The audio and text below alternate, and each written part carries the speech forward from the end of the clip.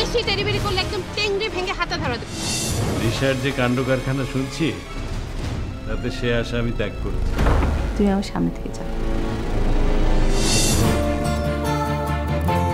I need separation তোমাকে আমার আর ভালো লাগে না। চল আমরা বেশি প্রয়োজন না। নাগরিক ধারাবাহিক এক পা দুপা রচনা ও পরিচালনা ফেরদৌস হাসান। দেখবেন মঙ্গল থেকে বৃহস্পতিবার রাত আটটায়।